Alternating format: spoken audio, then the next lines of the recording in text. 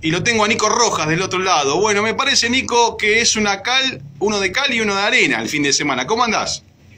Víctor, ¿cómo te va? Buenas tardes para vos, para toda la audiencia. Eh, tal cual, creo que recién acabas de, de mencionar. Nos vinimos obviamente súper conformes y contentos con el resultado obtenido, con la victoria que pudimos conseguir en la primera carrera, pero con ese gustito amargo que se rompió el motor faltando Ah. tres vueltas en la segunda final cuando veníamos ganando, lamentablemente. Sí, sí, bueno, pero contanos de ya desde el día sábado, porque bueno, habían planificado con Hernán Gorostietan en un principio de hacer eh, ambos estar compitiendo uno en una fecha y bueno, y otra otra final eh, Hernán. Y después a medida que fue pasando el, el sábado, que justo bueno, arrancaste con algún inconveniente, dice Hernán, bueno, no, que siga eh, Nicolás, eh, más vale que lo haga él, hay que sumar puntos importantes, por ahí vino la mano en un principio. Sí, tal cual, esa es la idea. Fuimos eh, al fin de semana, obviamente pensando en compartir el fin de semana juntos y poder estar corriendo los dos. Pero bueno, salimos la primera tanda, quedamos segundo, que el auto la verdad que estaba funcionando bien. La idea era por ahí de que yo me dé una tanda más y después que Hernán salga a girar. Y, y bueno, lamentablemente en la segunda tanda se nos rompió un elemento ahí del sistema de freno y bueno, obviamente nos perdimos la tanda del medio, nos Mm. quedaba solo una tanda y Hernán decidió de que yo de que yo salga de esa última tanda y bueno eh, dejarme por ahí de ese, ese, ese, ese lugar no que por ahí iba a ocupar él y se sentía cómodo para correr el otro día para ver cómo había quedado todo. Y bueno por eso después terminamos desarrollando nosotros todo el día domingo Bueno, igual hiciste una buena clasificación para lo que fue la primera carrera, un sorprendente Guillermo Grierson que había hecho el 1 y vos estabas casi casi a, a cuatro décimas ahí, más allá de eso de haberte perdido un poco las tandas del día sábado. Sí, tal cual. Eh, creo que por ahí hubiese hecho falta poder aprovechar bien todas las tandas para por ahí tener un auto un poco más competitivo a la hora de la, que la clasificación, pero sabíamos que teníamos un buen potencial. Claro. Eh, lo de Guillermo creo que fue muy bueno, creo que fue referente todo el fin de semana. Eh, obviamente después las carreras se tienen que dar, ¿no? Una, una pena por ahí de que terminó abandonando la primera final y bueno, creo que en la segunda agarró el aceite mío cuando se me rompe el motor, pero creo que era uno, uno de los autos a batir. Estuvo muy rápido todo el fin de semana, contundente. Y bueno, nosotros creo que más allá sacando, digamos, del gran trabajo que hizo él de la clasificación, pudimos quedar segundo para, la, para ambas fechas y bueno, después estar concentrado y poder quedarnos con las dos series que se corrieron, una final y bueno, como dije, lamentablemente en la otra el motor dijo basta y nos quedamos con las manos vacías. En la segunda batería que corriste para la final, para la primera final, fuiste ampliamente dominador, ¿eh? La verdad que le sacaste llamativamente más de 6 segundos a Brian Stracuadaini. Aplicaste toda la potencia ahí, eh, se hizo un trabajo importante en el auto en cuanto al chasis desde la clasificación a la primera serie, o en este caso la, la segunda serie, tu primera serie en realidad. No, la realidad es que el auto andaba bien, no, no, Ujú. no, no se tocó mucho en el auto, sabíamos que teníamos un buen ritmo, por ahí no éramos lo suficientemente rápidos en la clasificación como era en el caso de Grierson, Sí. pero creo que teníamos un buen ritmo apostando en la final.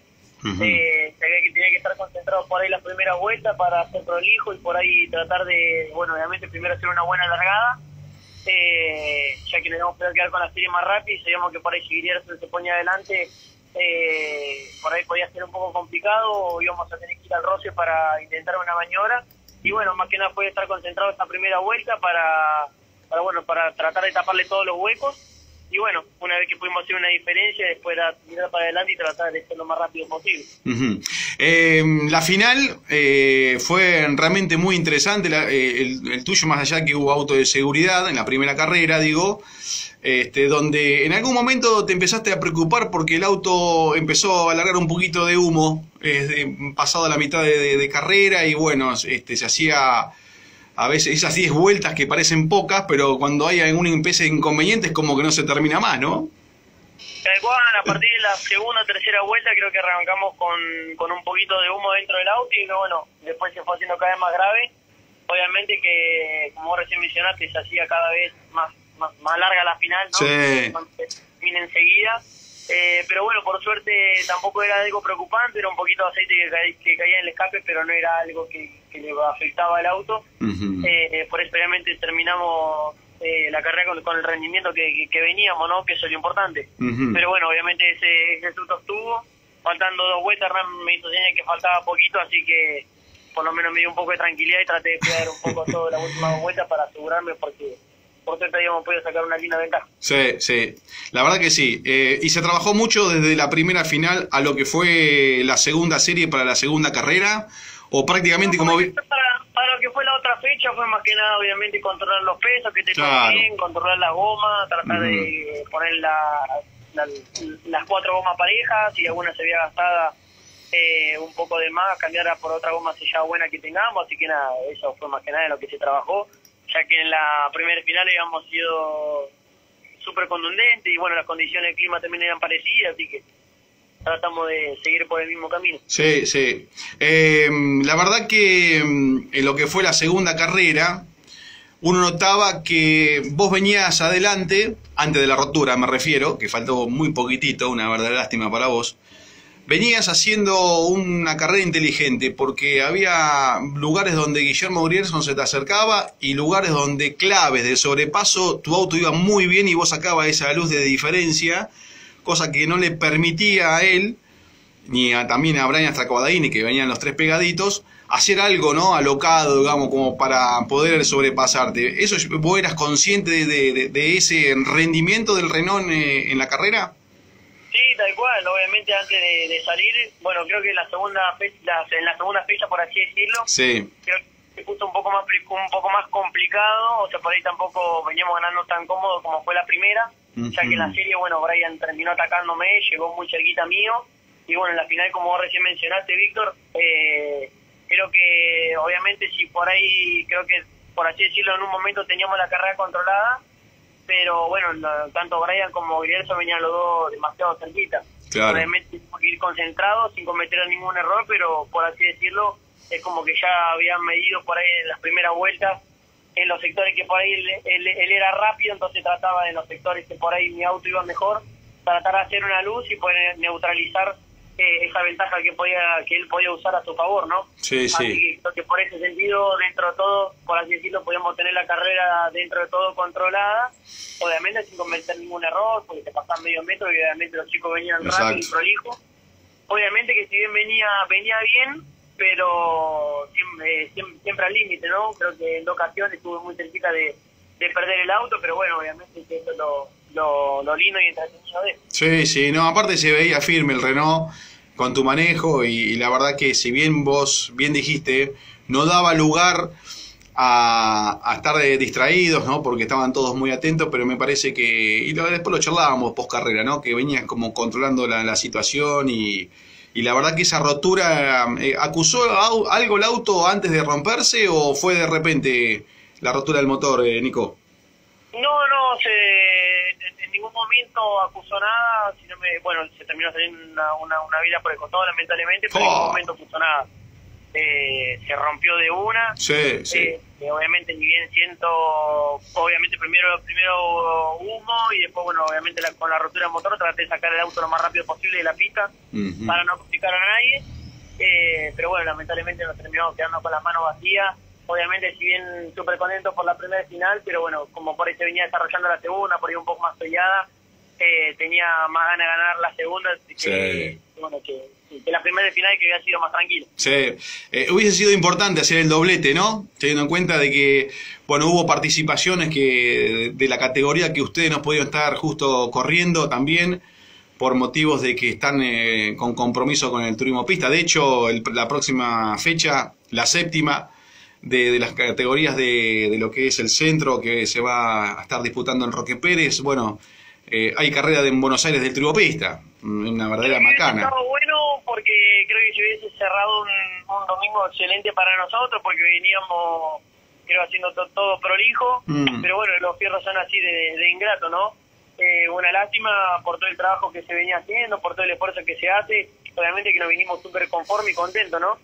pero bueno, te queda como esa como ese sabor agridulce de, que venía haciendo todo bien y bueno, solamente faltaban tres vueltitas.